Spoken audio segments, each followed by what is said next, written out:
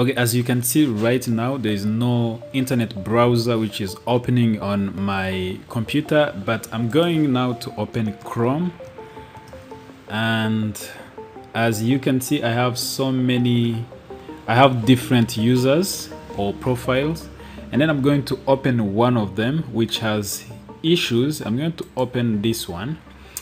And um, let me go for example on this this website cnn.com let me go to love ai let me go to open ai open ai let me go to ebay.com for example. And let me open more other websites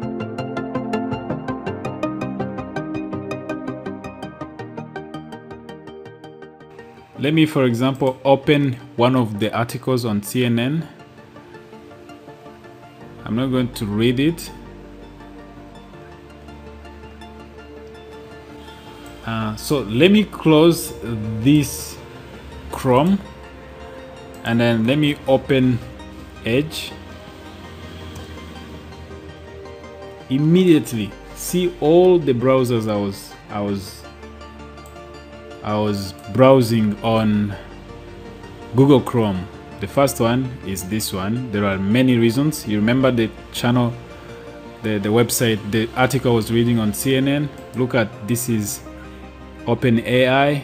This is eBay.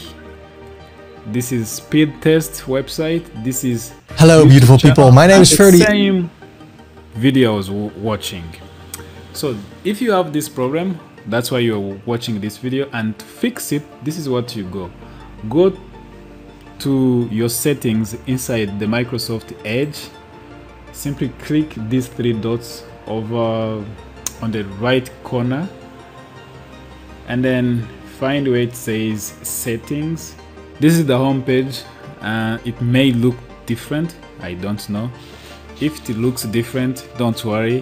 What we are looking for is where it says import browser data. Click here. And as you can see right now, I it says that Microsoft Edge can import, can read what I'm doing on Google Chrome browser and then it brings it, it saves it here. When I open Microsoft Edge, you know, I can continue my work from the Google Chrome browser, which I personally don't want. I want to use one browser for a specific task like that. So to change it, click here on Edit Preferences and then click Turn Off. But maybe before I click on Turn Off, you can see Import Profile. Remember, I have so many profiles on Google Chrome or users on Google Chrome. If you click here, change import profiles, you can see I have so many ones. I have uh, the one called Faustin, Gabi, Giveback, Inono. I have so many, many of them. But the one that Microsoft Edge is, is, is, is reading right now is the one called Faustin. Whatever I do in this username or in that profile of Google Chrome Edge, Google Google Chrome browser, Edge can read it. To stop it quickly, click on turn off and then accept confirm. So now Microsoft Edge browser will not read again what I'm doing on the other side on other browsers, in this case Google Chrome. So this is how to fix it. Hope this video helps you.